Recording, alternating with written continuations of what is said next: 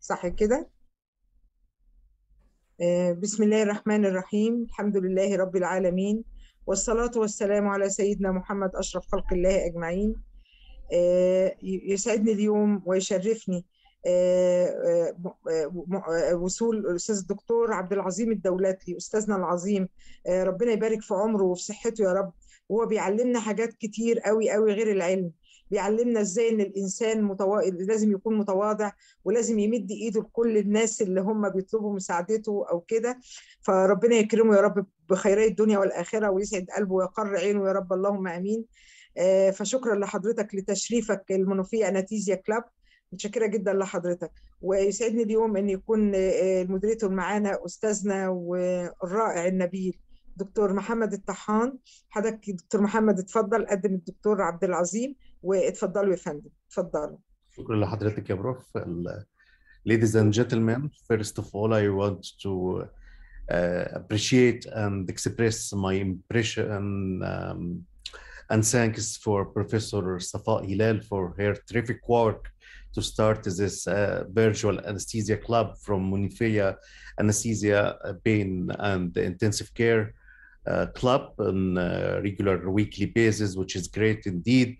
And uh, here I, I'm also so delighted to introduce as the only speaker in this panel uh, my professor and mentor, Professor Abdelazim Dawlatli. He's the founder and uh, for uh, the many of things uh, started from a co-founder for the Saudi Journal of Anesthesia, and he's currently the editor-in-chief in the same journal, which is growing so fast in the Middle East. Meanwhile, he is one of the pioneers of thoracic anesthesia in the Middle East and Saudi Arabia. Um, he's um, a talented speaker and he has a long experience in teaching, education, and scientific research in different fields, including neurosurgery, bariatric surgery, and also as well as for uh, thoracic anesthesia. He's a founder for the fellowship program for thoracic anesthesia at King Saud University in Riyadh, and he's currently a professor of anesthesia in the College of Medicine in King Saud University, Medical City of King Saud University in Riyadh. And um, we have a problem. You might um, turn your day from a good day into a nightmare. In the morning, you started your thoracic case, you started early and you started to isolate lungs. And once the surgeon started thoracoscopy, was introducing the trocars, he has been hampered with incomplete lung deflation, which can be a nightmare not only for you as an anesthetist, but also for the surgeon. During the following minutes, Professor Dawlatli will explain to us his experience and evidence available for tips and tricks to expedite and promote lung deflation techniques. Professor Dawlatli, the stage is yours. Okay, thank you very much, uh, Prof. Mohammed, for this nice introduction. And I'd like to um, uh, extend my sincere thanks to Professor Safa for her kind invitation to join this uh, interesting group. And uh, actually, I thank her for her endless effort to promote our specialty. Uh, my presentation, as uh, Prof. Tahan said, is regarding the airway management tips and the tricks in lung deflation techniques. Uh, I'm going to show you uh, why I call it lung deflation and not lung isolation. In a minute, you are going to hear these uh, details about it. These are the lectures outline. I'm going to start with the lung deflation techniques. I'm going to focus on the double lumen tube issues in terms of the size and the insertion depth. And then I'll move on to the bronchial blockers and the update in this field. And I'll finish with take home message. I declare first there's no conflict of interest. The lung deflation techniques, why I'm calling it lung deflation, because, you know, as you might know, and I, am sure in your practice you face the same, that we are facing all the time clean lung, not wet lung, you know. Rarely we face wet lung syndrome, which is the best example of it is bronchiectatic patients. So we rarely face this actually. And most of our cases, you know, is uh, clean cases. Uh, so the lung is clean. We are not afraid of soiling, you know, the healthy lung from the from the diseased lung. So that's why, you know, I'm calling it lung deflation techniques. Because as uh, Professor Mohammed just said, that it will, you know, what, what the surgeon wants from us. The surgeon wants the lung to be down, to be collapsed, you know, like a piece of meat, in order he can operate. So that's exactly, you know, to enforce, you know, the term of lung deflation techniques. So lung deflation techniques, I used to classify it into these two categories. First is from without, and the other one is from within. What I mean from without and within. Without means that I'm using single lumen tube and I'm using to deflate the lung capnothorax, CO2 insufflation in the pleural cavity.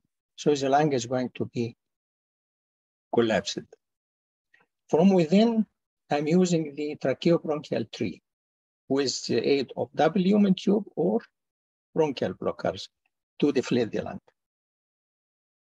So these are the two important techniques of lung deflation. Let us start with the first one. I'll just brief you on the first one, which is single lumen tube and capnothorax. Actually, this technique was adopted here in uh, our hospital, and it is now cited from uh, different articles we published on the same different literatures. Are citing uh, our references. So these are the couple of um, literatures and publications which we started around 2001 and growing on uh, with the same technique. First, on the left side of the screen, this is thoracoscopic sympathectomy. Usually, we started this technique with uh, thoracoscopic sympathectomy, bilateral one. And here there is uh, article on the endobronchial anesthesia versus endotracheal anesthesia with intrathoracic CO2 insufflation. Another article we published. Professor, I'm sorry to interrupt you. Oh, are you advancing your slides? We can see only your first slide.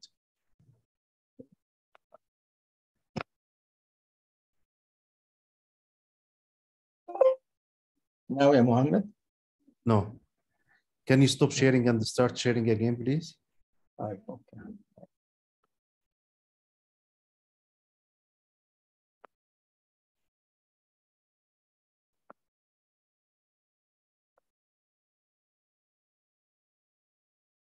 Can you try to advance it? Are you advancing? Yes, now it is advancing. Yes, yes, we can see it now. I'll start from here now. Yes, okay, perfect. Okay, thanks so much. Lung deflation techniques, as I said, you know, there are two techniques where we can adopt this uh, one. Is from either from without, as I said, from without means I'm not using the tracheobronchial tree to deflate the lung. And from within, using the tracheobronchial tree to deflate the lung by either double lumen tube or bronchial blockers. And here from without using just single lumen tube and then CO2 insufflation in the pleural cavity in order to deflate the lung. Is it clear, Dr. Mohammed? Yes, indeed. Thank you.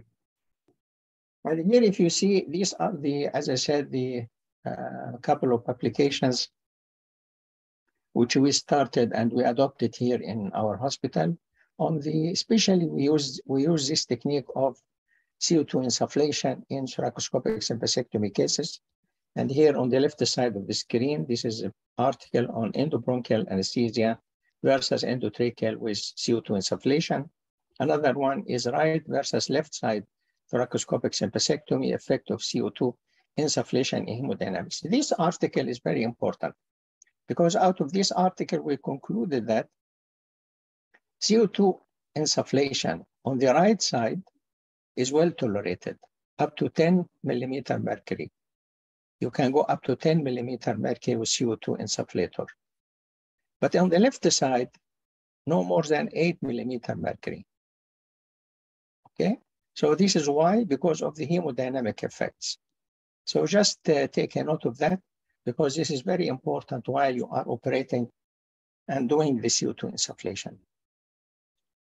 Uh, then there's a third uh, paper here on right versus left side sympathectomy. Oh, this is this is the same anyway. But there are another one, which another third article on the on the respiratory uh, mechanics, you know, uh, with this uh, technique. I don't think it is here in this slide. So the the of note, as I said, the hemodynamic effect of capnothorax. On the right side, if the surgeon operate on the right side, always have an eye on the CO2 insufflator. The pressure should not exceed 10 centimeter water, should not by all means, okay, on the right side. On the left side, should not exceed eight centimeter water, okay? Otherwise, hemodynamic changes will occur. So just while you are operating, just while, even while you are documenting the blood pressure, the heart rate, create the space also for the CO2 insufflator pressure and put the pressure all the way, you know, monitor it during surgery. This is how it looked like. By this good deflation, as you see here, you know, this live case, you know, like piece of meat, you know. This is the lung here, and this is sympathetic chain. The surgeon was able to have it, you know, dissect it, and here he is going either to clip it, you know, by putting clamps, or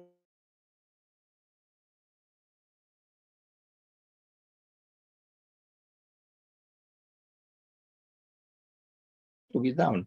Imagine without lung deflation, how, how this can uh, be visualized like that. At the end of this procedure, the surgeon used to do what pre-pleural, you know, in, in, installation of the local anesthetic uh, just uh, beneath the subpleural, beneath the parietal pleura. Okay, and this gives good analgesia because it tackles the intercostal nerves. And this is uh, just an editorial which we describe this novel technique of subpleural analgesia following thoracoscopic sympathectomy. Let us move to our subject, which is the main subject of tonight, which is from without. Is uh, sorry. Before that, let us uh, just summarize. The without technique is use a single lumen tube and. Here we are using sing, single lumen tracheal tube. And then, you know, uh, the, the, there is a procedure, you know, uh, in order even not to injure the lung, because the surgeon when he enters, before entering with a trocar to the chest cavity, he is putting the Veress needle in order to insufflate CO2. So when he starts to put the service, the Veress needle, and before that, you have to stop ventilation completely. Then Veress needle inserted, and again stop ventilation until the trocar is inserted. Then you resume ventilation. Then CO2 insufflation pressure, as I said, on the right side from 8 to 10 millimeter mercury, on the left side from 6 to 8 millimeter mercury. And this is the tidal volume and respiratory rate. At the end of the procedure, CO2 is off. Then he is going to put elastic tube underwater seal in order to drain all CO2 out of the chest cavity.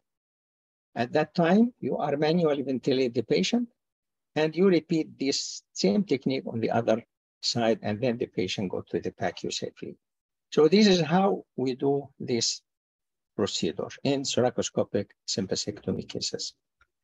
Let us move to the uh, our main subject on the from within technique, using the tracheobronchial tree in order to achieve lung deflation. As I said, we are going to mention a uh, couple of things, you know, and techniques and uh, tubes, either old and new tubes, and we'll start with the double lumen tube issues. This is how you think of the double lumen tube. You know, any, any use of double lumen tube, you have to think of the following. Is this right or left side double lumen tube? So means identification of it. And what is the indication of each? Number two, you think of the size of the double lumen tube, which fits your patient. And we'll show you in a minute how we do that. And don't forget, there are complications of lumen tube. Lumen tubes are not very safe, by the way. And I'll show you a couple of airway traumas secondary to the use of lumen tube. So airway trauma. The other thing which is important, you know, coming nowadays on surface is insertion depth of W tubes. I'm going to show you details of each. First, let us start with the right and left sided W tube. How to identify right from left. And this is, you know, for our junior colleagues in order that uh, they are uh, have to be familiar with the identification of the of the tube and what is the indication of each. This is how we identify. This is the right side W tube, and this is the endobronchial portion. And you can see there is slot opening here. By the way, you know, it's mentioned everywhere. This is a eye. You know, I, I, I don't think, I don't think it is Murphy eye. You know, it's called Murphy eye. But you know what I like to call it is um, just the slot opening, which is a, to be placed opposite the right upper lobe bronchus orifice. Okay, so but uh, you call it Murphy eye. You know, some some some some books you call it like that, but you know, most of the references you don't call it Murphy eye. And here the other one, which is the left side of W tube. This is the endobronchial portion of the left side of W tube. You can appreciate that there is no opening as in the right side. So this is how we differentiate between the right. Of course, there is also curvature of it, you know, the endobronchial left side, it goes to the left side, you know, this one, the curvature go to the left, and here the bending is toward the right main bronchus. So this is another thing, but the main feature why this is left and this is right is opening here for the right side, you know, uh, at the endobronchial uh, part, you know, which is placed using fiber optic bronchoscopy opposite the right upper lobe bronchus orifice. This is again the right side of the lumen tube. There are different manufacturers and still you can find this opening here, you know, slot here, slit opening. And here the fiber optic bronchoscope. And this is a very famous sign, which is apical, anterior, and posterior, which is Mercedes sign. You know, this is the right upper lobe bronchus orifice with three segments. So the, with use of fiber optic bronchoscope, you place it like that. This one has to be opposite.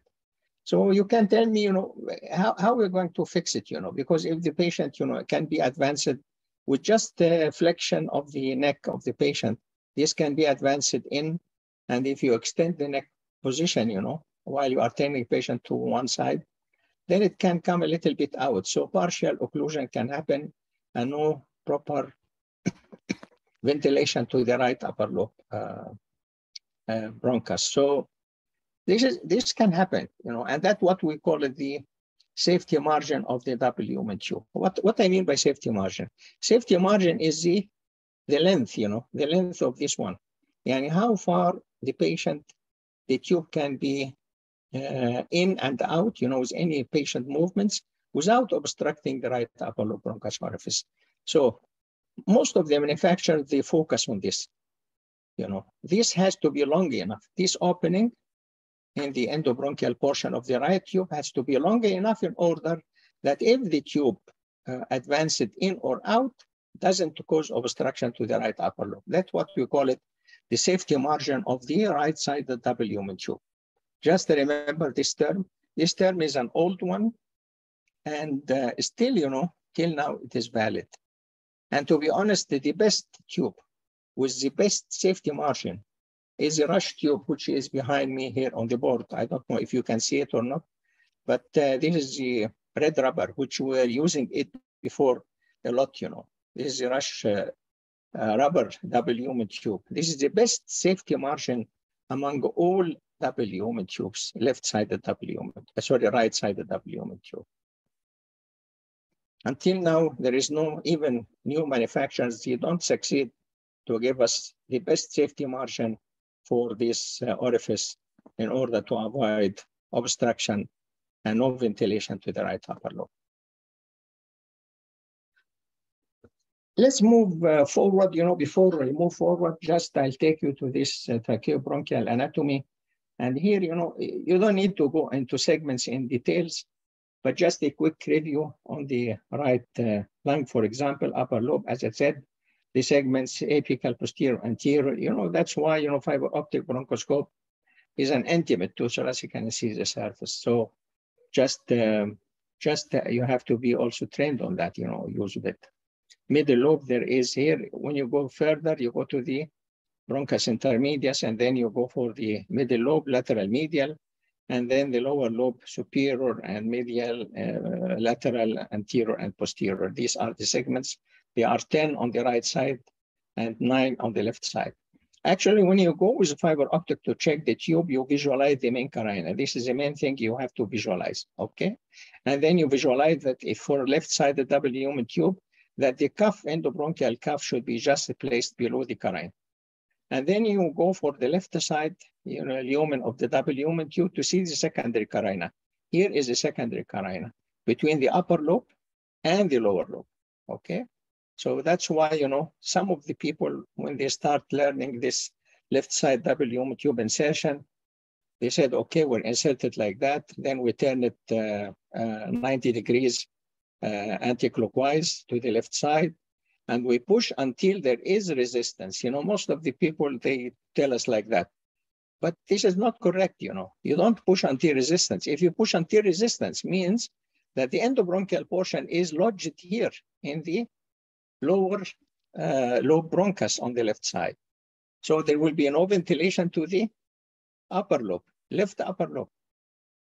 Okay, so so that is why you know very important in order to properly place left-sided double lumen tube with a fiber optic scope, essential to use it. You have to visualize the carina, secondary carina, we call it. It has to be visualized, and two orifices has to be visualized, one for the left upper lobe and one for the left lower lobe. Okay?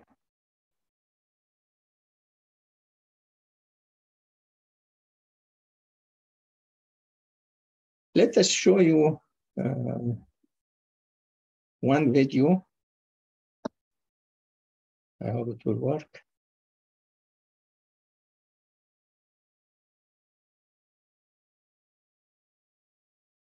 and how we use the different the fiber optic bronchoscope in recognizing the different lung segments. This is one of our cases, live cases. I hope the video is working nice, uh, Dr. Mohammed. Yes, it works. This is the left, up, this is the right upper lobe. You can see the three segments, apical, anterior, and posterior. And then we go to the bronchus intermedius. This is the middle lobe. And this is the uh, lower lobe. This is the middle lobe, right and medial segments. And this is the lower lobe here with the superior uh, or apical, anterior, posterior, lateral, and medial five segments here. So we are still in the in the right side.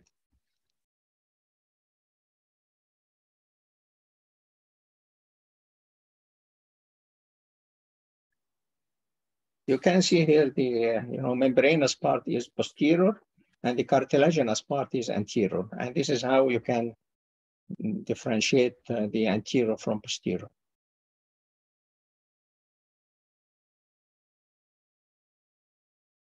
Still, I am in the lower lobe of the right side. We'll go out again to see the main carina. This is the main carina, primary carina. And then this is the left side. We are going into the left side to see the secondary carina between the lower lobe and the upper lobe on the left side.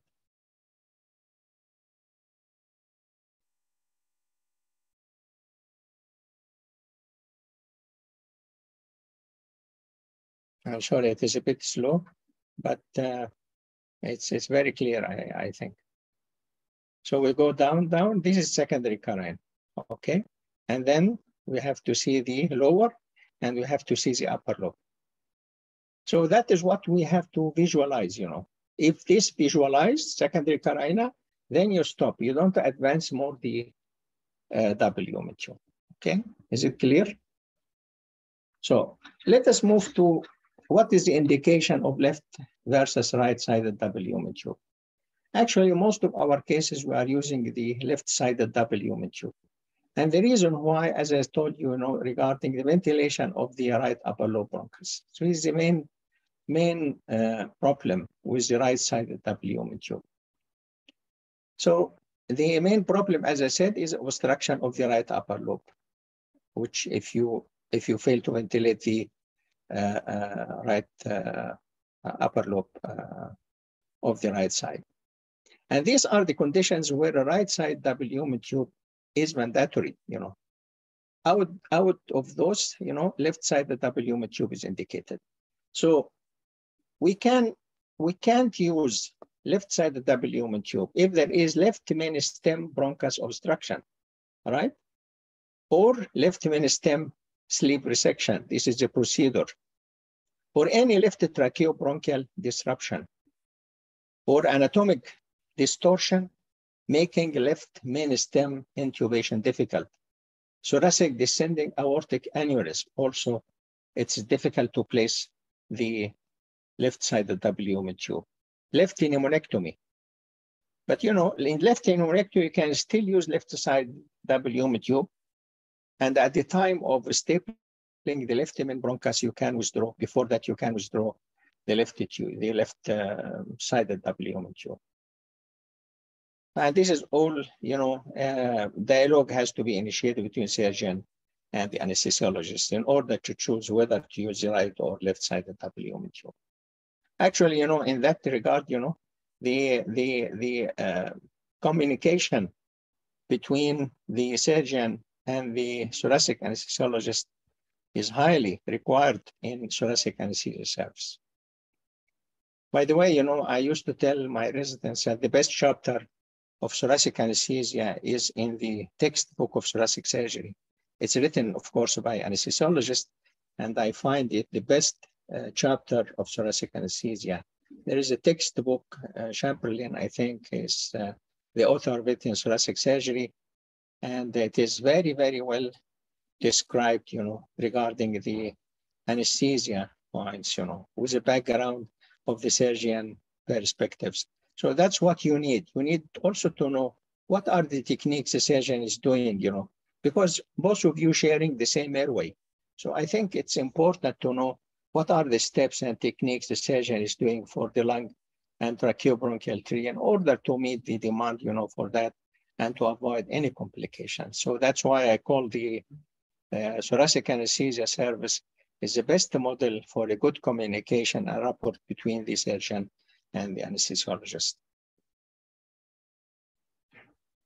Let us move to the other important point of the left-sided double lumen tube, which is the size of the tube. There are different methods which we, which size, you know, the patient came in and you wanted to get a selected double lumen tube, left-sided double lumen tube, which size? The technician is going to ask you, or your resident, or your fellow. Then there are different methods. There are measured and conventional. Let us see what are the measured methods we have.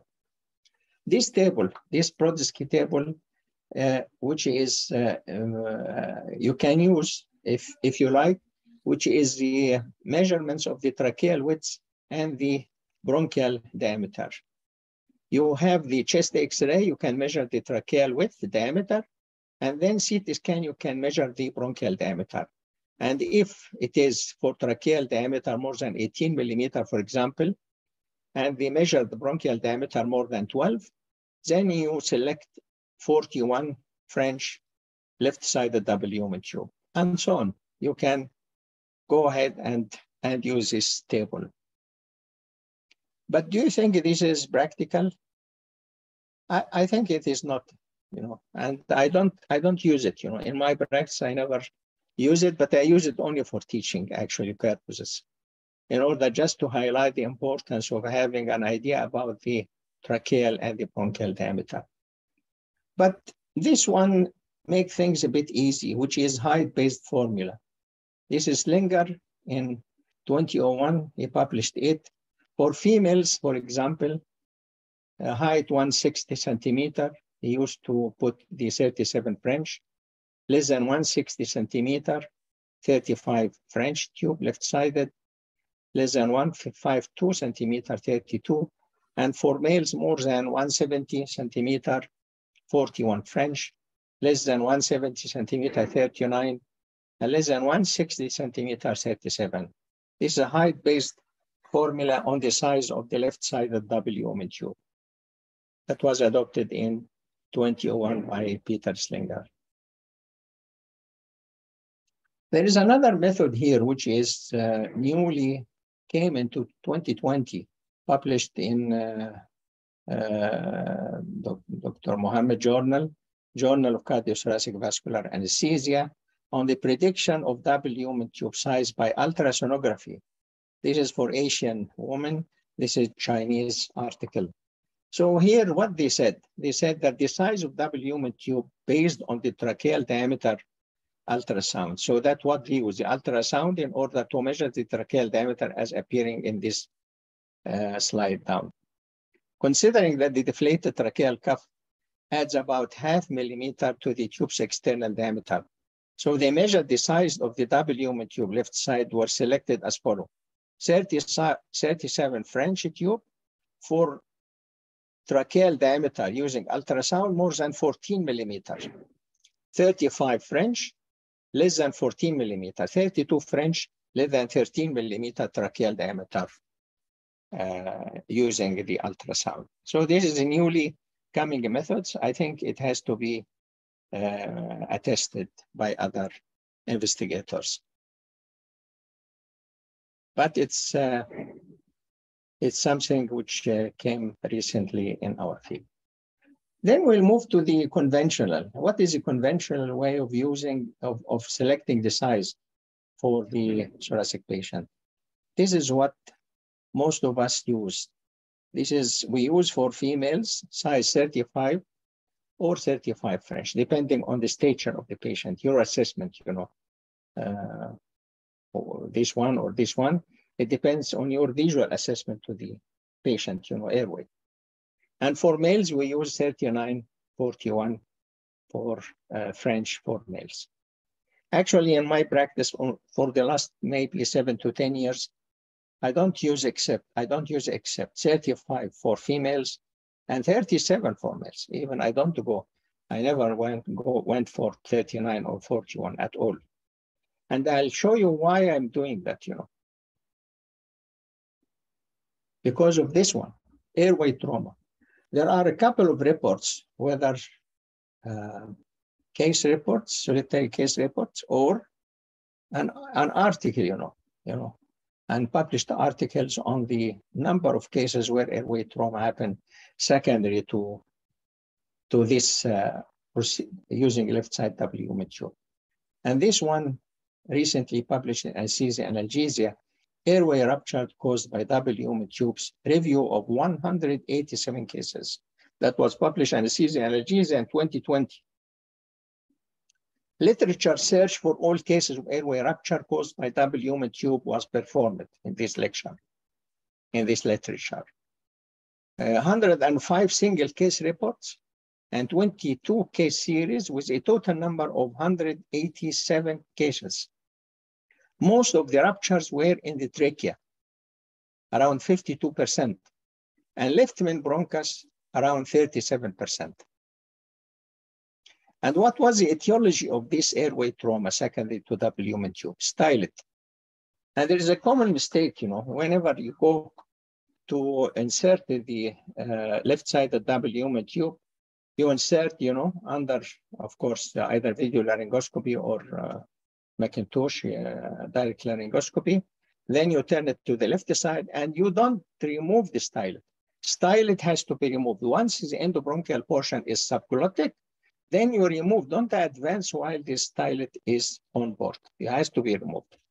Otherwise, injury can happen because sometimes stylet can protrude, you know, beyond the tip of the uh, the uh, bronchial part of the W tube.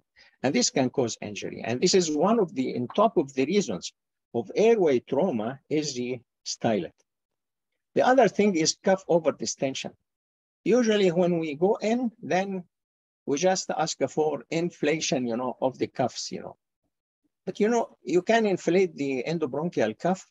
Let us say we used to do it uh, three millimeter air. And, uh, but you know, sometimes it's, it's over distended, you know, with this three even. So you have to do it under vision. And even if you wanted to uh, adjust the tube later on, if you want to adjust the tube either in or out, don't do it with an in with an inflated cuff. You have to deflate the cuff, adjust your tube, and then inflate the cuff again under vision, the endobronchial cuff, I mean. The third cause of this trauma was multiple attempts to adjust the position of the W tube. And this is also one of the problems which can happen that you attempt uh, once, twice, thrice. But in that case, you know, I think you have to call for some assistance, you know.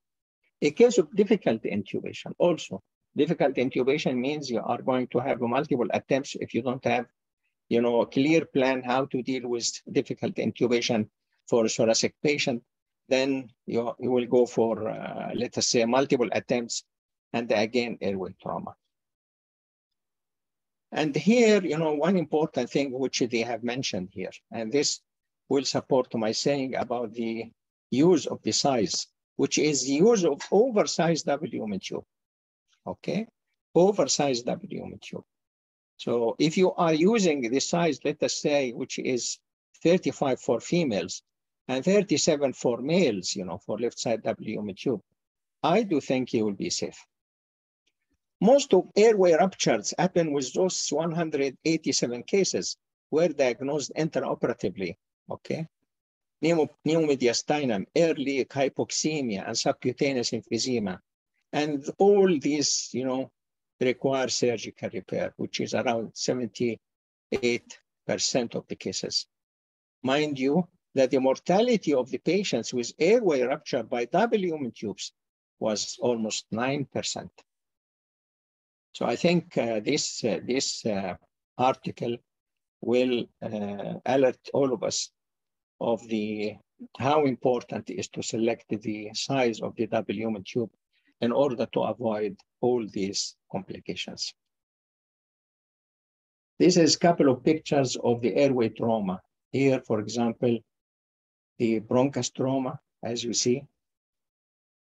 Here, you know, and here also, uh, this uh, iatrogenic tracheal rupture during intubation with left side W tube published in 2009 here, and you can see here, and here is the after repair sutures.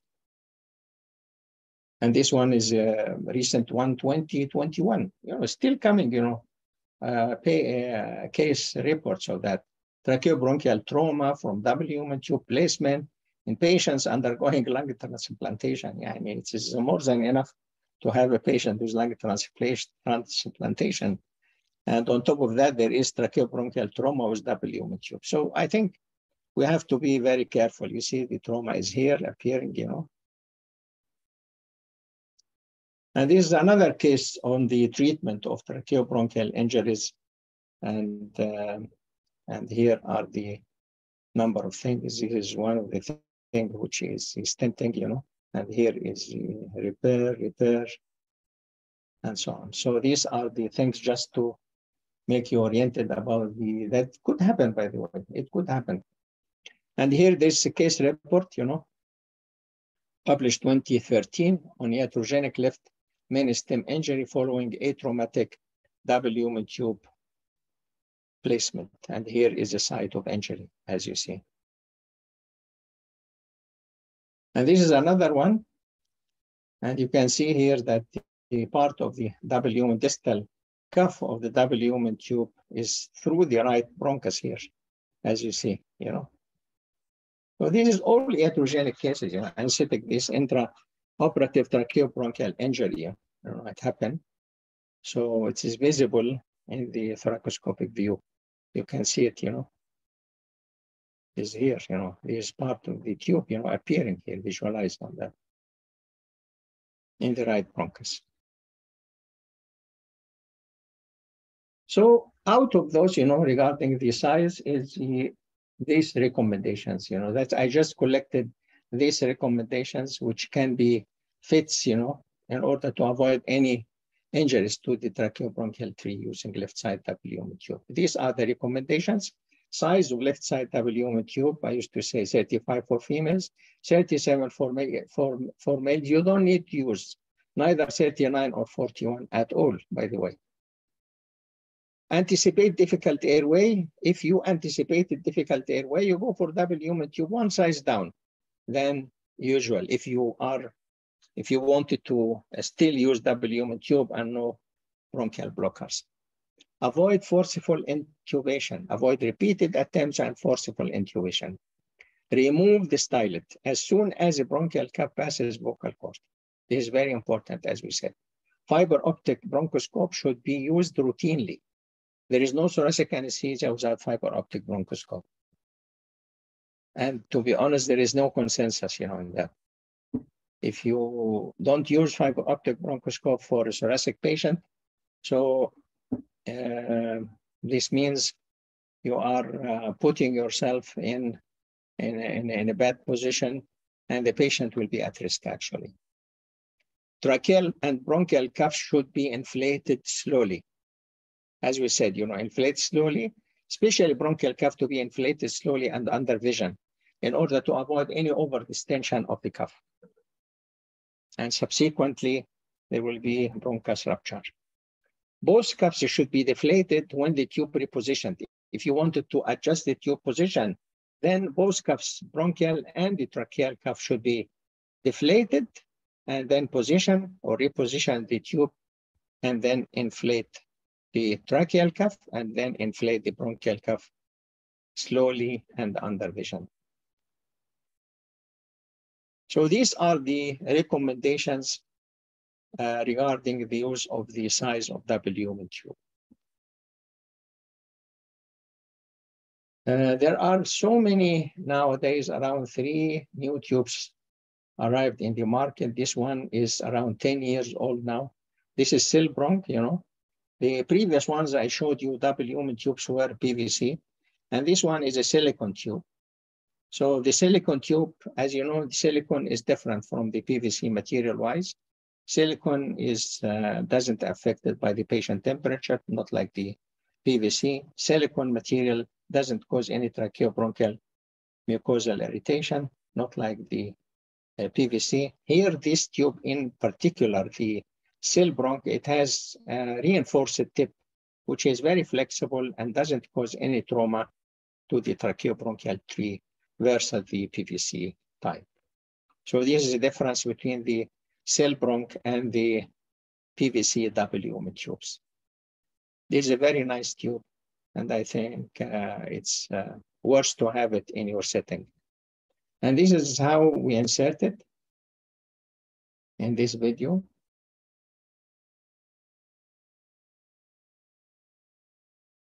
This is the reinforced part appearing here. And this is the cuff. Now you'll see the cuff inflated. It is above the carina. So how to reposition it? You know, we have to deflate it and push. Don't, don't push the tube while it is inflated, as we said. Deflate and then push down the carina and then slowly inflate the cuff. Is one of the things which can happen for double tube insertion. We call it the cuff herniation, that the cuff herniated above the carina. So in order to reposition it, just deflate and deflate the cuff and push it under vision, all using the fiber optic bronchoscope in the tracheal lumen. You can see everything. Don't do anything blind, huh? And then you inflate the the blue cuff.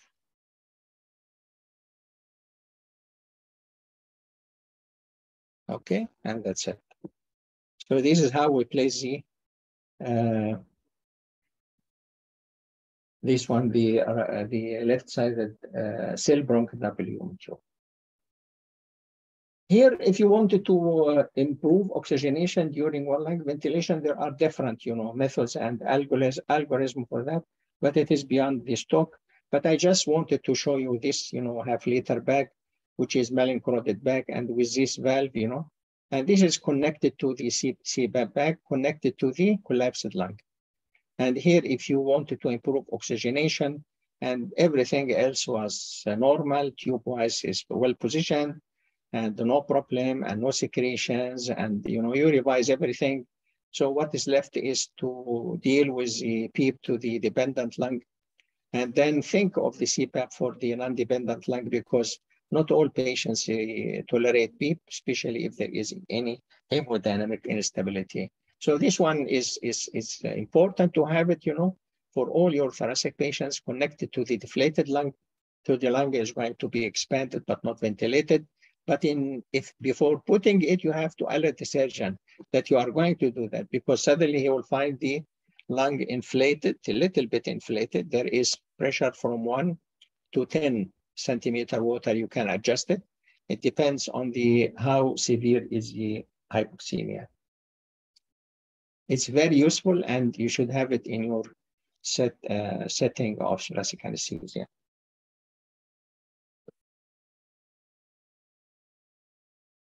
There is another tube which is the, uh, you call it the triple cuffed double lumen tube. What is the idea of it? This is the South Korean one. This you call it the ANKOR tube. Here you can find, you can see there are three cuffs. Huh? This one is tracheal cuff, and this is the usual one, which is the bronchial cuff. And there is another cuff here also in between, which is the third cuff, you know. And here is the third cuff. What is the idea of it? I'll show you in a minute what is the idea of it. Let us move, see this one. This is the tube. And you can see here, this is the cuff, green cuff, and the blue is the bronchial cuff, and this is the tracheal cuff. So you insert it like any other left-sided double lumen tube, move it to the left, anti-clockwise, and you stop. Then inflate the green cuff, which is this one, with 6 cc air. The green one. The okay, the. This Okay, is okay. then What happened? When this stuff is going to be unfolded in this one the right land to the left side, and there is And the tube resistance. Once there is the resistance, side you are okay. There is no So, point that the tube is going to Then at the end, you deflate this one, Once you are in, this and one will inflate be this one, the increases. and there is a resistance. You stop and deflate the green cuff and push the double lumen tube, and then start to deflate the bronchial and the tracheal cuffs. Okay. Exactly. So it will direct the tube to the left side. You know, sometimes, you know, if we practice thoracic anesthesia, sometimes you find this, that you push the tube to the left side, then suddenly you will find the tube on the right side. So why this happen? There are so many factors, you know, this, especially if you have a trainee with you, you know, it, it happens several times, you know. So one has to um, uh, accept that this could happen. And I'll show in a minute, you know, an article which states that around 4%, you know, of the tube inadvert left-sided double lumen tubes inadvertently goes to the right main bronchus. So this is the one. So let us see. This is one of our residents, you know, he is putting it, pushing the, uh, inserting the ANKOR tube. أنا سيدي اول عساك إن شاء الله. والله لسه مش مبسوط من الان مش مبسوط من دولتي ما وصلت لك على فهم جيده يعني السلام لازم تشتغل على نفسك.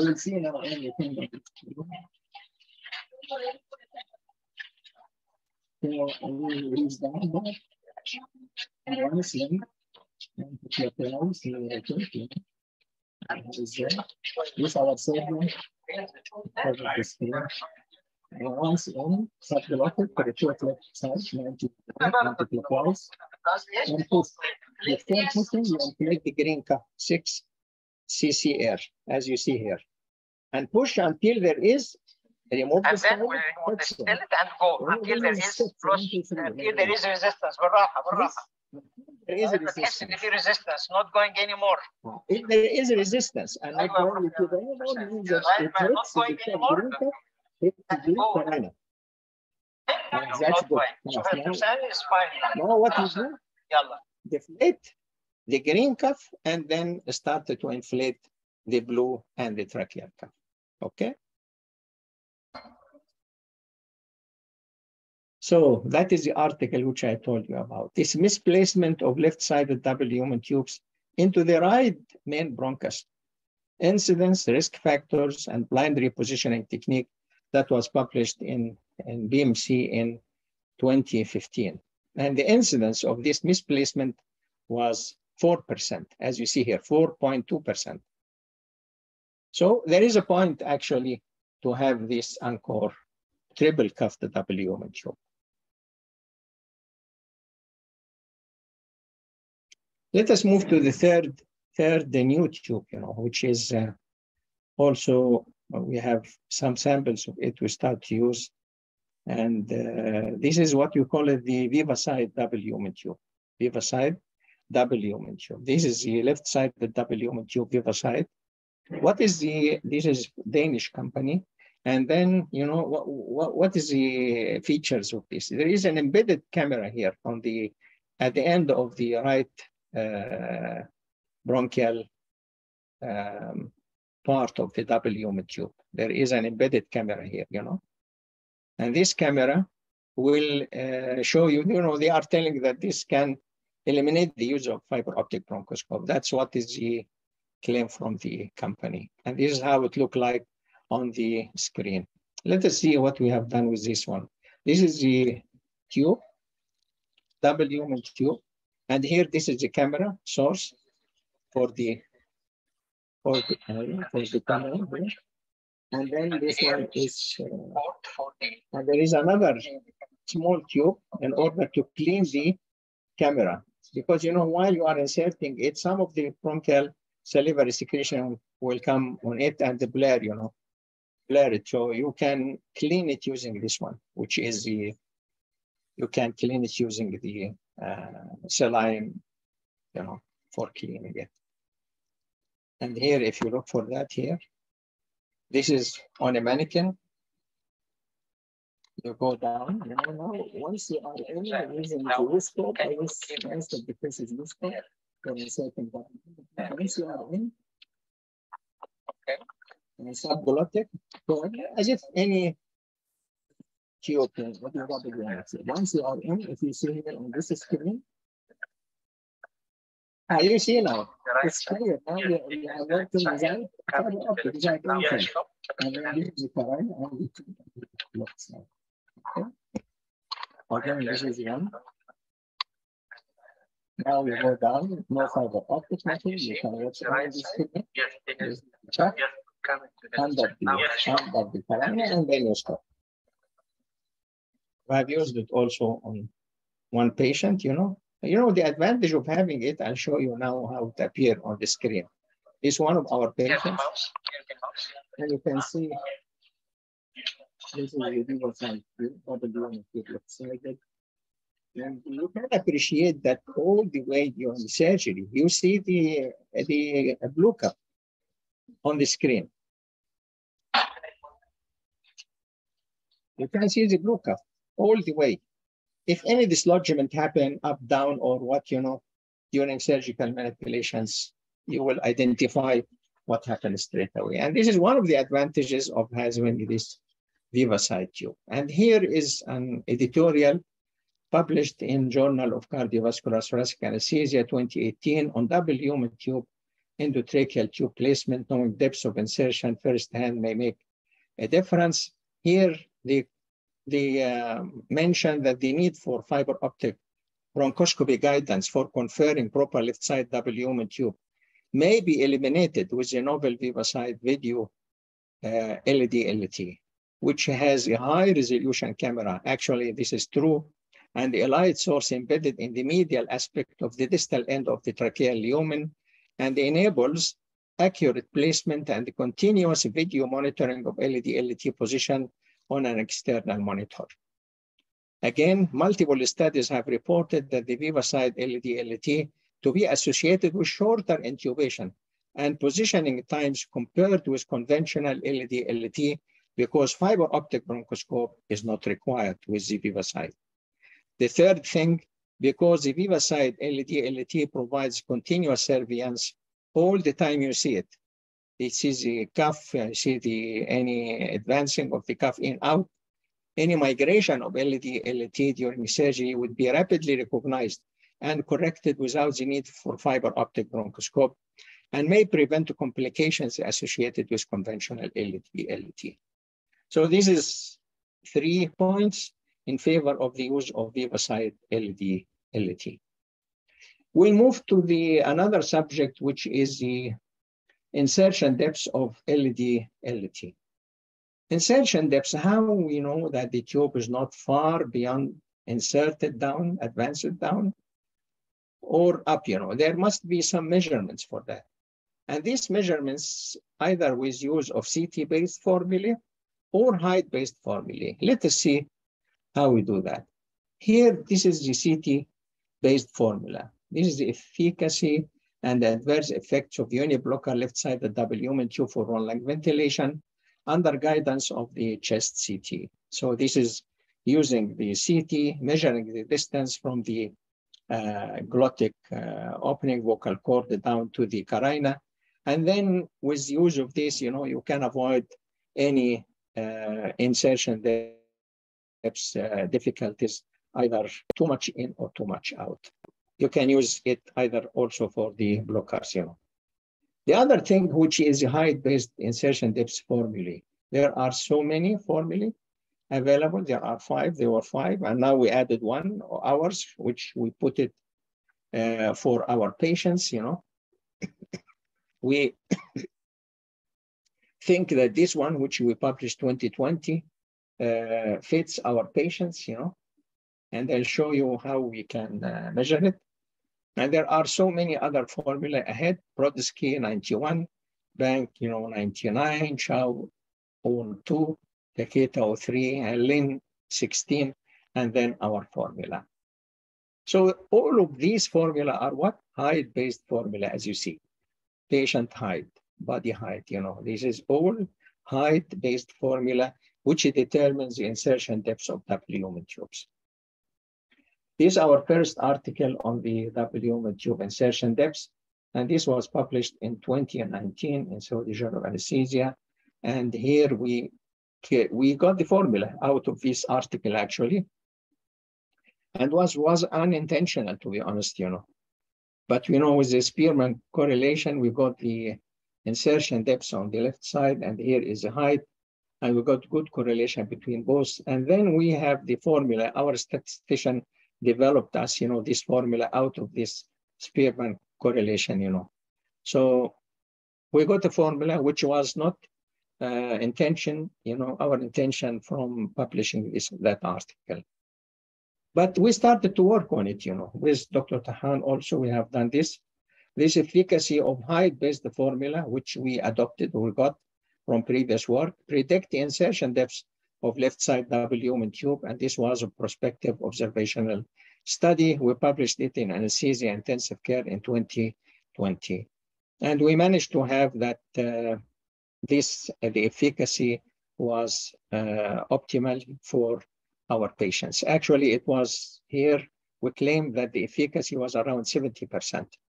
Mind you, you know, there are around 12% patients, though it was not properly, you know, as uh, in the formula uh, positioned, but, you know, there was no obstruction, you know, or respiratory embarrassment, you know.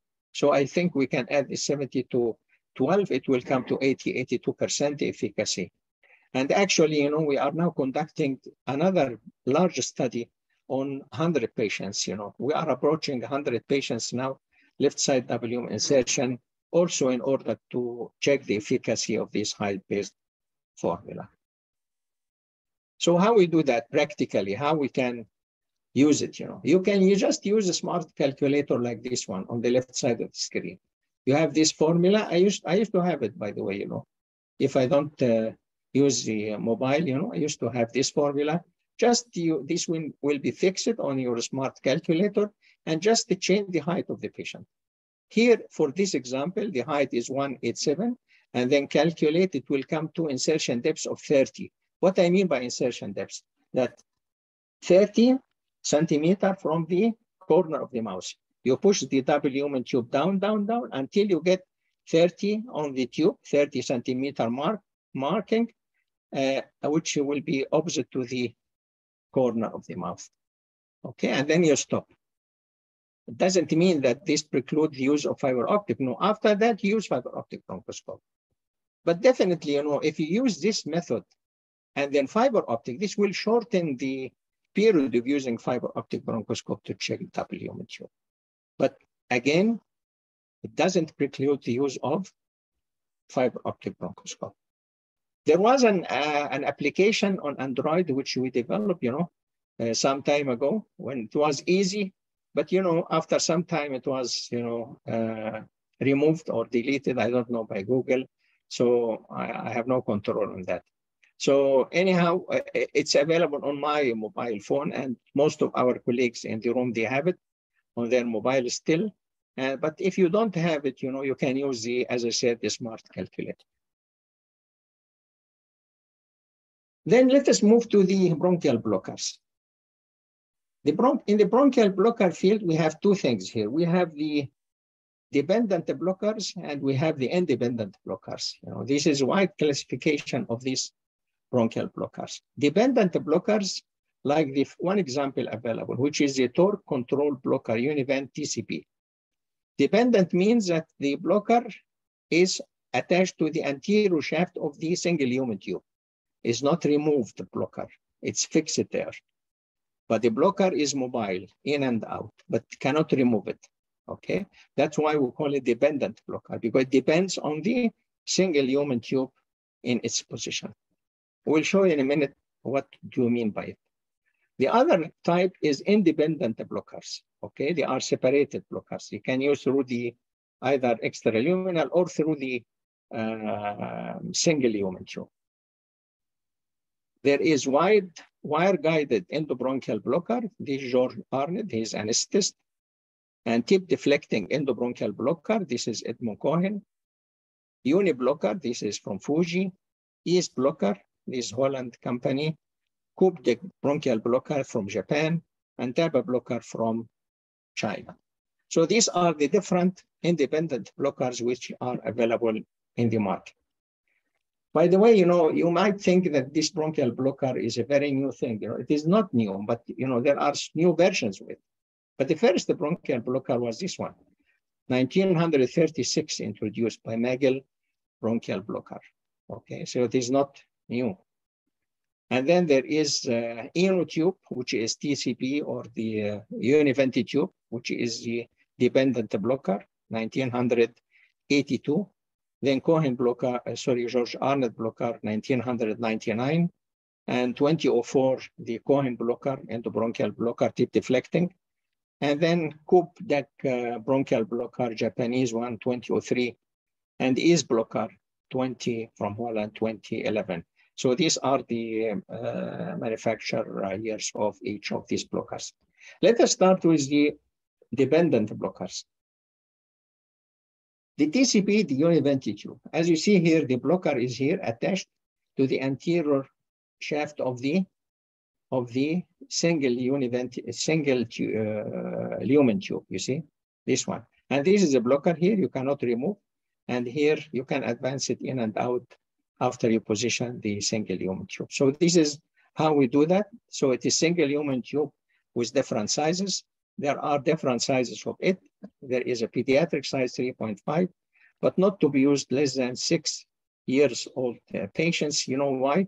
Because the external diameter here is large, you know, because if you add this to the external diameter of this um, single lumen tube, it will come higher than to be accommodated for a child less than six year old.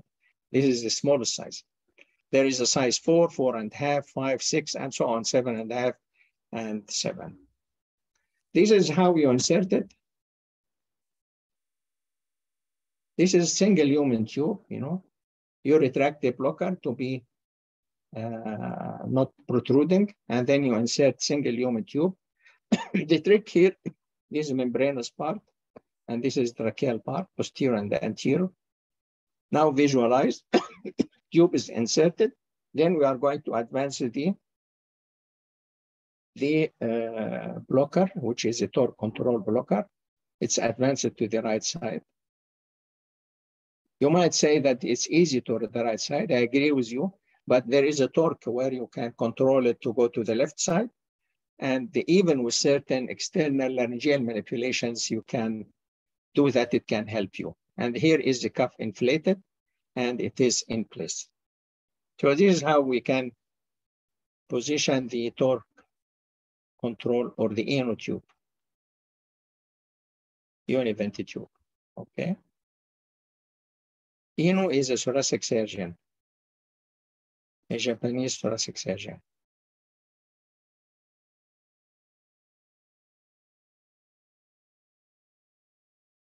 I'm trying to here, trying to not over distend, you know, overinflate the cuff. As we said, you know, we have to take a note of that. Let us move to the independent blockers. The independent blockers, we have the George Arndt blocker, which is wire endobronchial blocker. The feature of it is the nylon loop here. As you see here, you can see it. There is a nylon loop at the tip of it, you know, where the shaft of fiber optic bronchoscope go through this four-way adapter. All independent blockers, they have four-way adapter like this, four-way adapter. Fixed here, single lumen tube, largest possible size single lumen tube. And then you fix this adapter here to the catheter mount of the tube, and here to the respirator, and then here to fiber optic bronchoscope, and this one through the, uh, the, the blocker will go through. So this is four-way adapter. This is applied for all independent blockers. You go with this uh, fiber optic scope to the, in between the nylon loop, and then you tighten. There is a screw out here, out of the the blocker where you tighten it, you know, over the shaft of the of the uh, uh, fiber optic bronchoscope, and you go where wherever you want. You know, it can have a selective lobar blockade, by the way. You know, if the patient doesn't tolerate one lung ventilation and uh, you want only one lobe to be uh, deflated or isolated, then you can use this one. It can serve for selective lung blockade as well.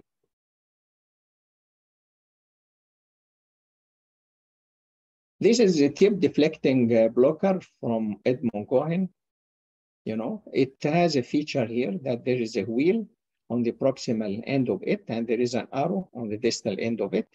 And this wheel, whenever you go in, you direct the arrow toward either right side or left side. Once you direct it like that, let us say to the right side, then you turn in the wheel, you know. Once you turn the wheel, it go to the right side and vice versa.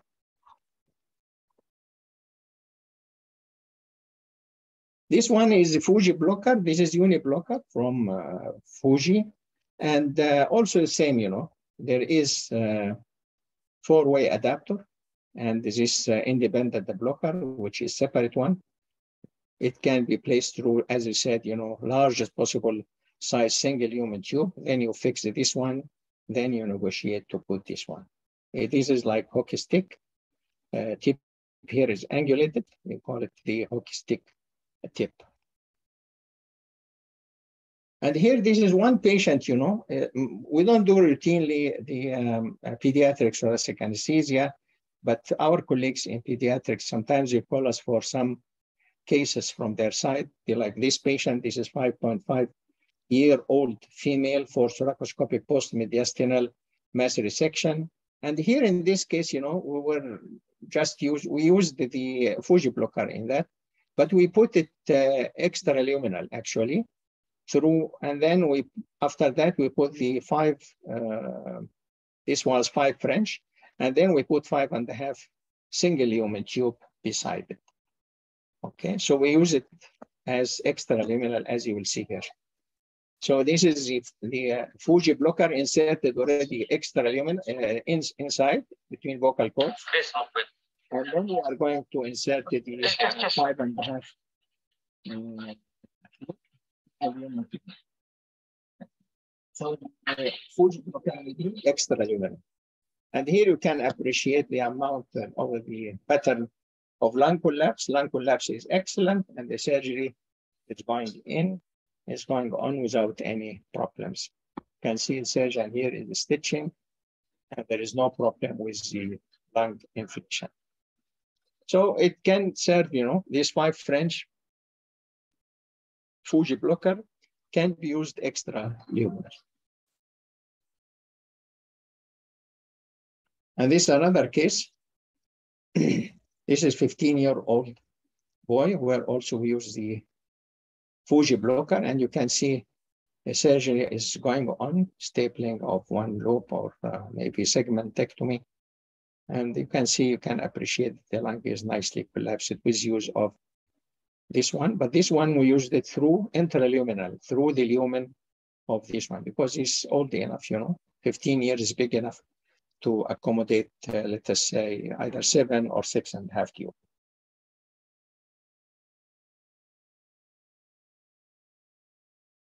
We'll move to the EZ blocker. This one is bifurcated distal tip. As you see, there are two lumens here, okay?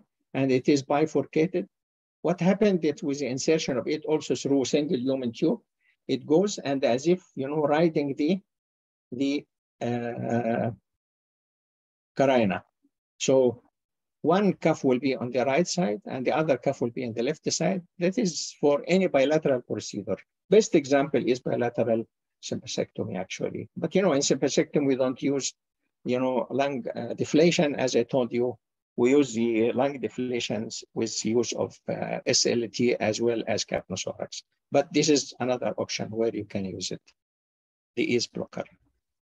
And here I'm going to show you view and usable. Lubricate the tip nicely and then insert single lumen tube large as possible size, and then put the four-way adapter as we agreed upon, all independent blockers, four-way adapter. Then you insert the blocker. Okay, you, you need to have an assistant like this. Huh? Assistant is very important. You have to train an assistant to help you, not the responsibility. You cannot do thoracic anesthesia alone. Okay. Ten people around you will give you good medicine. It's okay.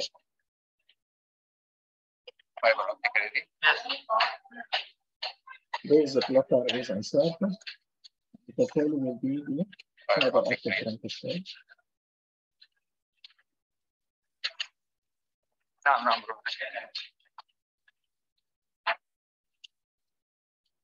Now we will see the part of the score where the device location is overriding the ground. One cup will be on the right side, branches, another cup will be on the left main branches. You can see that, huh? You see? Very clear, huh? Here it will appear more and more clear on the right side of the screen. You can watch it here on the right side.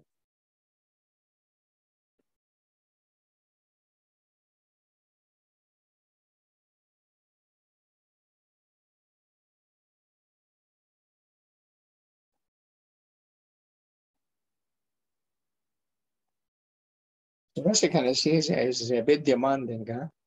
It needs a lot of uh, practice as well as reading, you know. So it is a bit demanding subspecialty. So this is the, uh, here you can see membranous part and the trachea ring part anterior, carina, right side, left side. And then you will see now the uh, bifurcated tip of the EZ blocker going over the carina. Okay, if you're stuck here, you can just external laryngeal manipulations from outside, then push, it will go without saying, as it appear in this, you know, external, remember, external laryngeal manipulation. You can see now, it goes without saying, okay?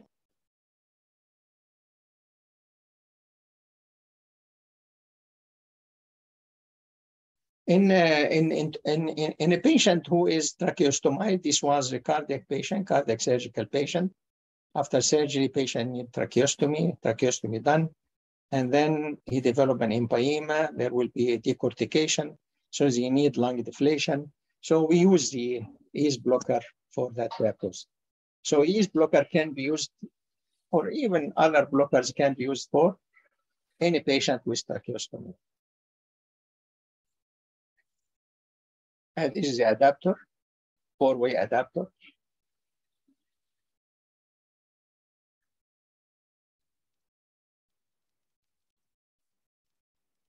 You have to have an assistant because you can you can hold the the EZ blocker, but the assistant will help you with the applicant.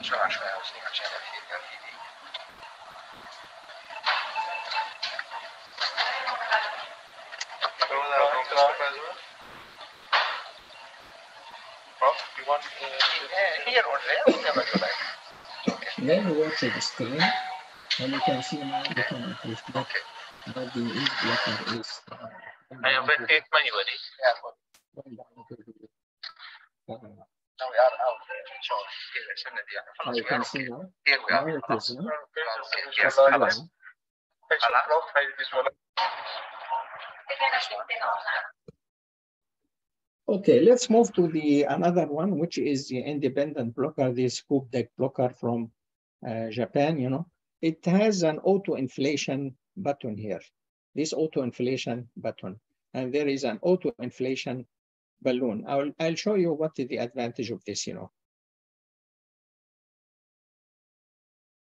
It is a PVC, actually, it is not silicon type bronchial blocker, but the balloon is, the bronchial balloon is silicon type. And here is a TAPA. TAPA is the same like the Coopdech, the same. Uh, but you know, after uh, 10 years of patent, you know, uh, then any company can produce uh, the same, which happened here. This is TAPA is from China. So this is the same like the Coopdech. There is no difference actually. And here how we use it, you know, this is the TAPA blocker, you know. What happened that this is the reservoir, you know, air reservoir or inflation reservoir in your bag, you know, inflator on 5 cc.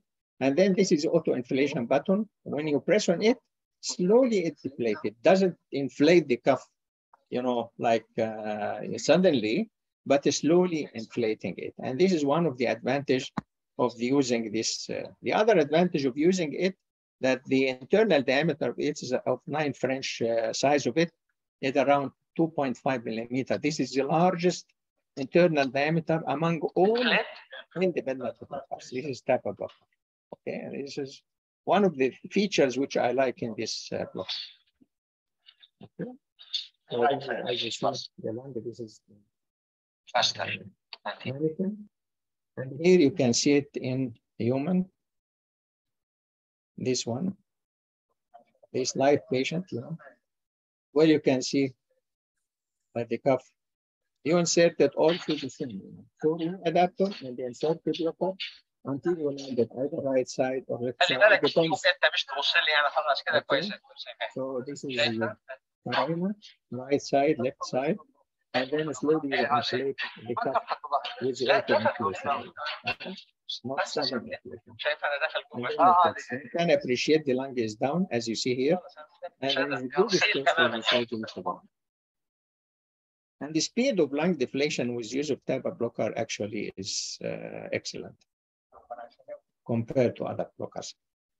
You might say, okay, bronchial blockers is uh, safe and we can use it without any problems. No, this is not true. In 2021, bronchial rupture following endobronchial blocker placement, case report of, of, of this complication. This one happened with uh, the uh, one of the bronchial blockers, and you can see the uh, here the trachea and here the left main bronchus and the uh, uh, the trauma. What happened here, left main bronchus, and here is after uh, suturing it.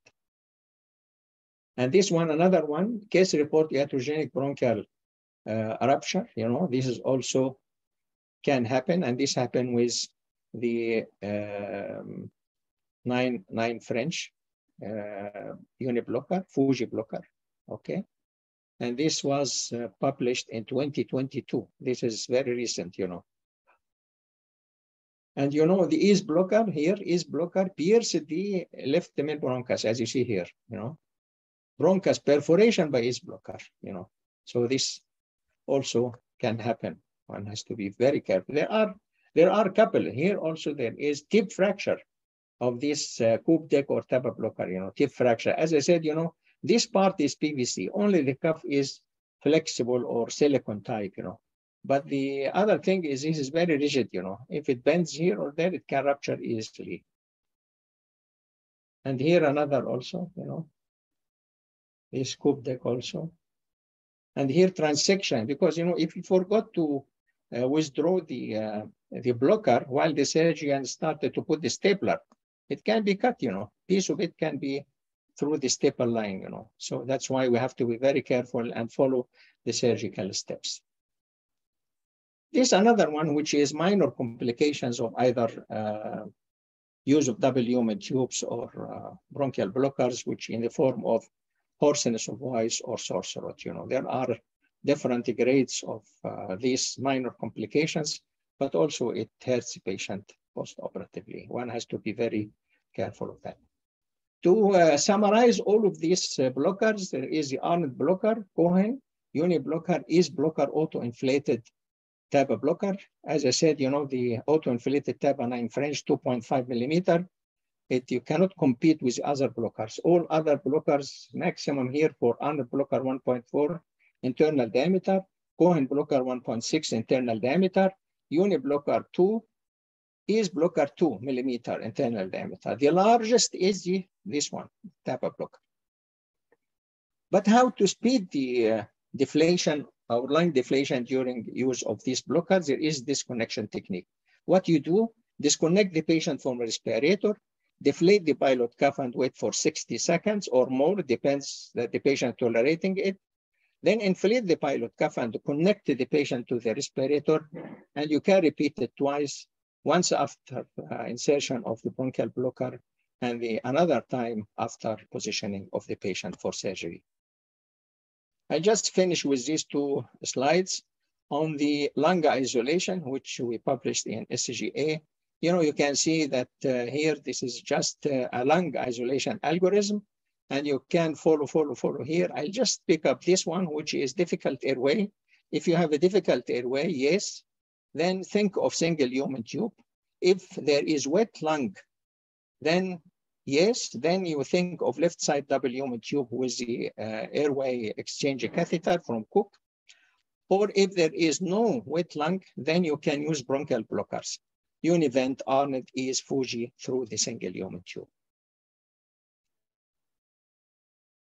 And this is another algorithm which we also uh, added on the anesthesia for video assisted thoracic surgery is we have defined the, the VATS into either tubed VATS or tubeless VATS. Here, this is something recently, you know, came on board where they use the either LMA with sedation or periportal local anesthesia with sedation, intercostal nerve block with sedation, intraperitoneal, intrapleural nerve, nerve um, intrapleural local anesthetic installation with sedation, paravertebral block with sedation, TAA, or infusions with remifentanil, propofol, or dexmedetomidine. This is something a new tubeless came, but you know it has you have to select the patient properly before you proceed for that. If a tubed one for video assisted VATS or RATS, you know, uh, then with isolation, with no isolation, then you follow the same algorithm as given before.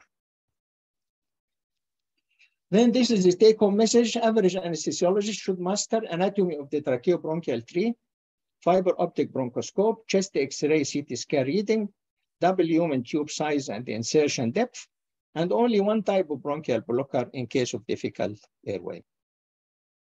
All these uh, things are available in this special issue of thoracic anesthesia of SJA 2021 published. This is our fellowship program.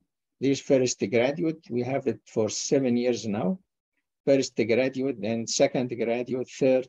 And this is the third one, sorry, the third one on board. He is with us. He will finish Dr. Musab in uh, December this year. And this is Dr. Malik. He is going to finish next year, December, inshallah. Uh, these are the kind of workshops, this teaching board, which is behind me here. You're using it for the teaching on this. Uh, and this is the, some of the workshops 2003. We started 2003. The first one we conducted thoracic anesthesia workshop in Riyadh.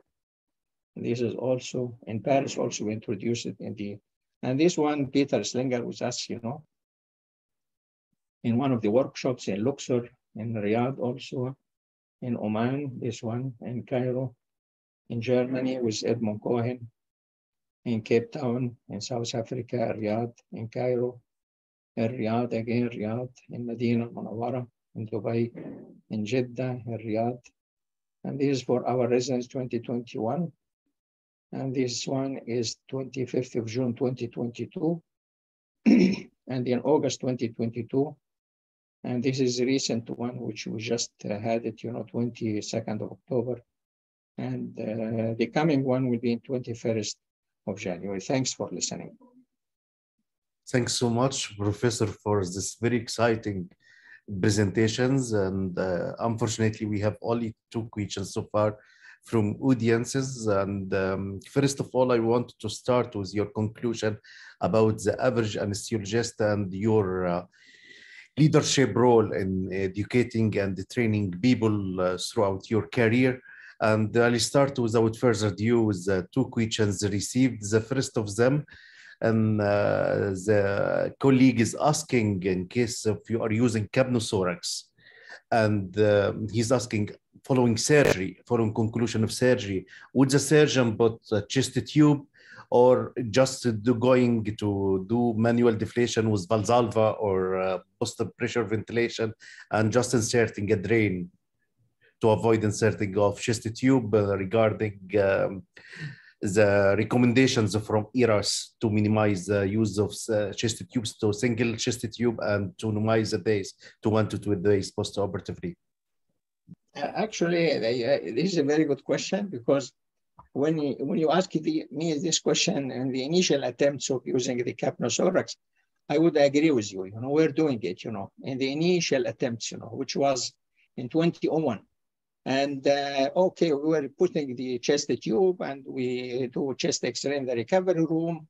We ensure that there is no capnothorax, that the lung is totally inflated. But actually nowadays we are not doing it anymore. What we are doing is silastic tube at the end of surgery and Valsalva, as exactly the colleague said. And until we ensure that the lung is under vision, is totally inflated, okay, no collapse at all. And then we remove this elastic tube with positive end expiratory pressure, okay? The surgeon is removing it and I'm holding manually with Valsalva, ensuring that the lung is totally inflated. Then we send the patient to the recovery room. Actually, we don't do at all nowadays any chest x-ray in the recovery room. Okay, interesting. Yes, there is a related question just received. Uh, do you use the dual capnography and uh, when you are using WM tube to confirm the proper position? Uh, not really, no. No, we are yeah. not uh, routinely using it, no. Yeah. Uh, there is another question received. could you kindly give a, a quick brief about uh, the use of WM tube or plucker in case of lung isolation is needed in ICU patients? Uh, ICU patients, you need lung isolation for ventilation, you mean? Like bronchopleural fistula or anything like that? Um, I'm not sure about the question. Uh, he might asking about a patient with hemoptysis or might uh, asking about a patient with uh, um, this harmony between the two lungs uh, regarding the disease. So for example, you are very restrictive in one lung and obstructive in the other lung, something like this. I think I think of, this is actually not my domain to answer this question in ICU setting, but uh, I can tell you, you know, uh, when I was doing, you know, ICU, I used to teach, you know, our residents and our, you know, staff, even nursing staff, what is this, you know, tube, how to deal with it, what is a blocker? Because it happened, you know, several times when you enter, a, admit a patient with a blocker, they don't know what the blocker is, you know, and then suddenly, you know, some problems happen or can happen.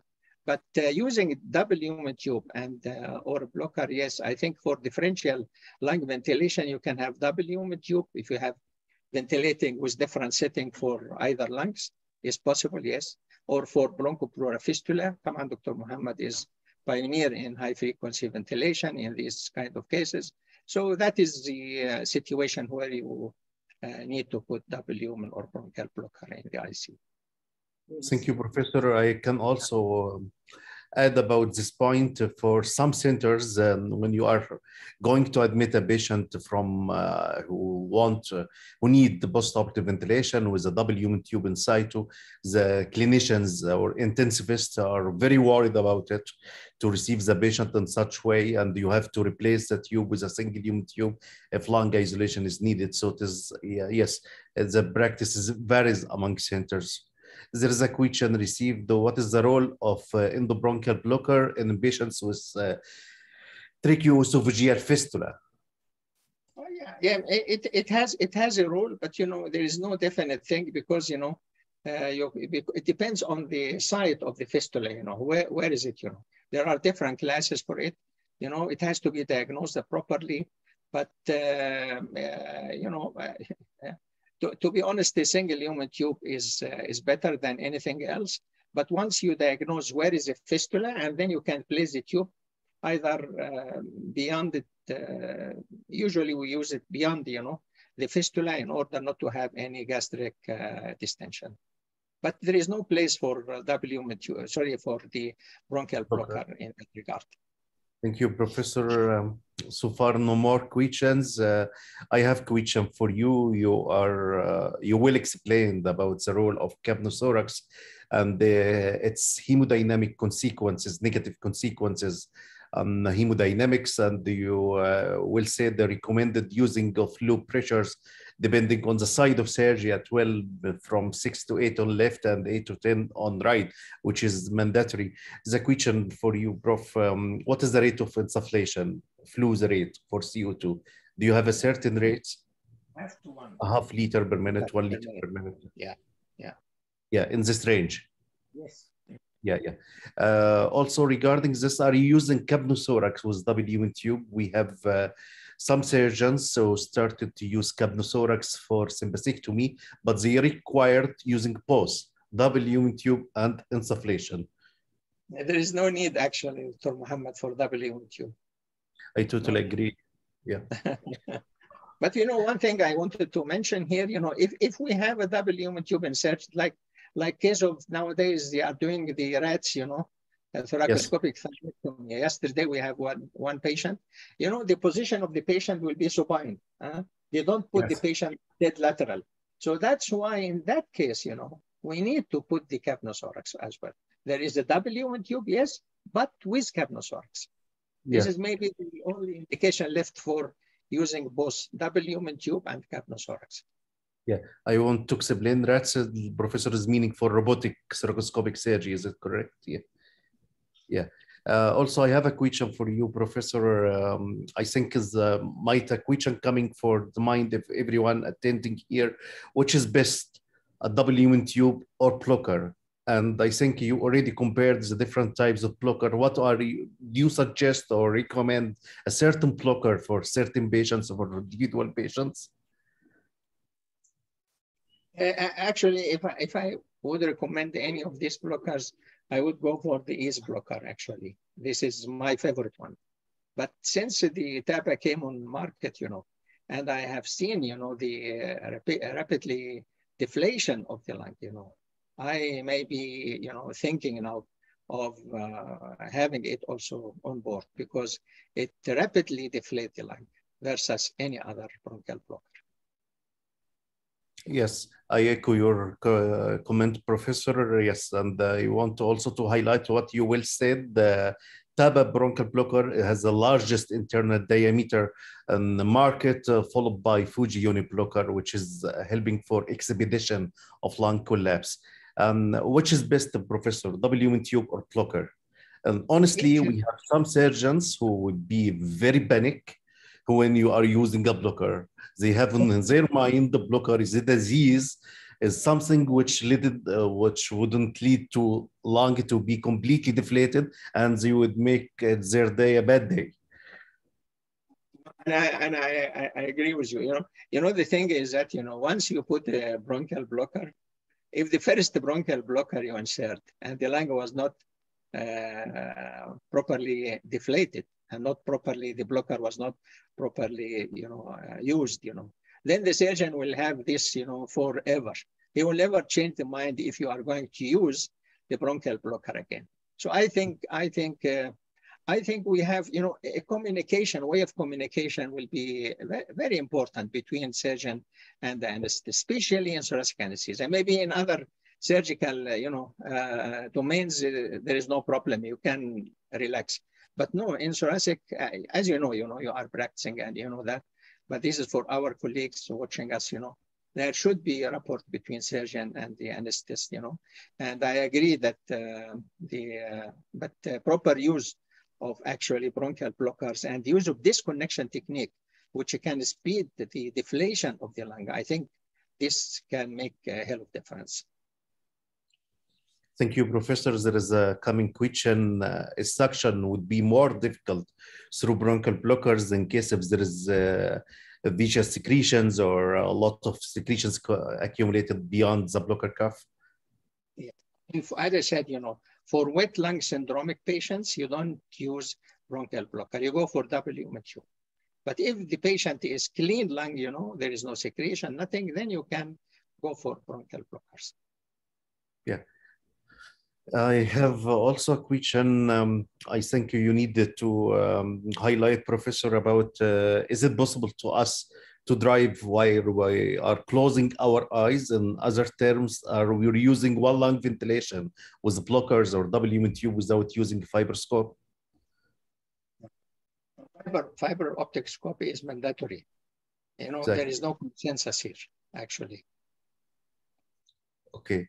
Uh, is there any questions from the audiences?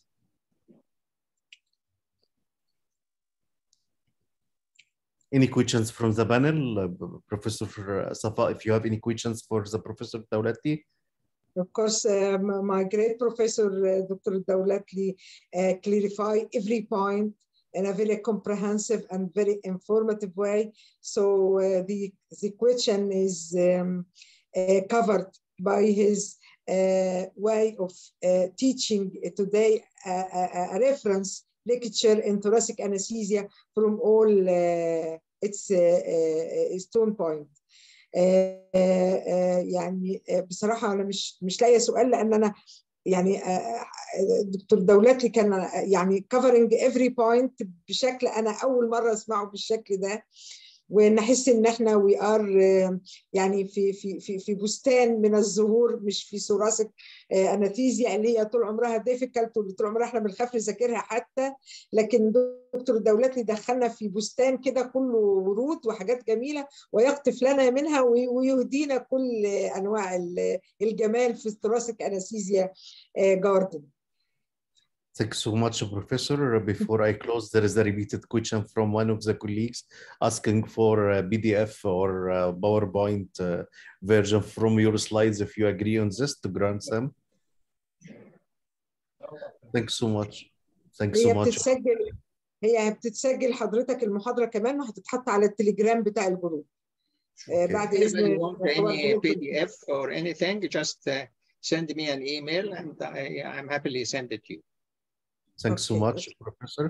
It was amazing uh, evening and it was a great discussion. And, uh, exciting, so exciting, and uh, Yeah. presentation Yes. from talent and well-experienced uh, professor and uh, thoracic anesthesiologist. Thanks so much for your time. Thank you so much, Professor Safa, for organizing this evening.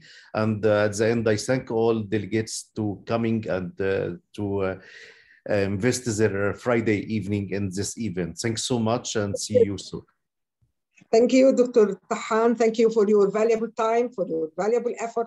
Thank you for sharing us kindly and support us kindly. Many thanks. I have no suitable words or suitable letters to appreciate my thanks and the great honor for my great professor, Dr. Dawlatli, for giving us his time and effort uh, kindly and support me and support my team and my colleagues I, my, and my ju- juniors. Dr. Dawlatli Uh, please um, uh, accept my appreciation and the great honor to have you share this happy night, this happy night uh, and uh, amazing night by your valuable information, comprehensive lecture, and, uh, and your valuable time. So many, many, many thanks for you, my great Professor Dawlatli. Thank you, Professor Dr. Tahan, for your valuable time. Thank you. Thank you. Thank you. Thank you so